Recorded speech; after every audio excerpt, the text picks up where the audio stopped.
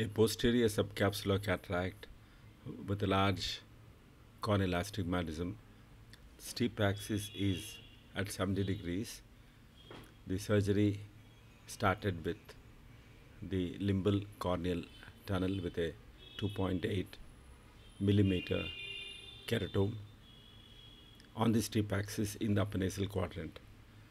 Tunnel floor entry with a cystotome creates a good rhexis. Chamber is filled with viscoelastic. Tunnel floor entry enables undistorted view of the capsule and the entry chamber would not collapse because the tunnel is closed. A blunt keratome enlarges the tunnel. Hydrodissection is done at one point. Capsular separating hydrodissection separates the cortex and keeps the nucleus epinucleus mass into one piece which is removed by trisection. Visco is continuously injected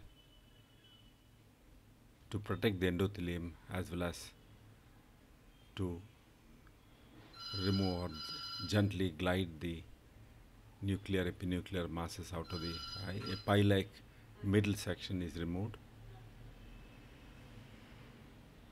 The rest of the nucleus is uh, removed by visco sandwich technique.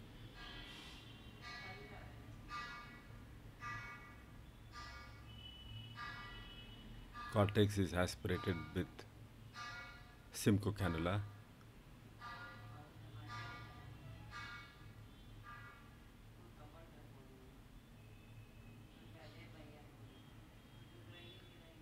Right and left subincisional cortex is removed by J-shaped cannulas which are modified Simcoe cannula.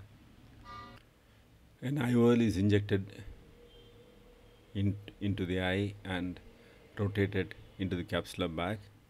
It's extremely important to remove every um, bit of viscoelastic from the anterior chamber, from the angle region, capsular bag as well as behind the lens before concluding the surgery.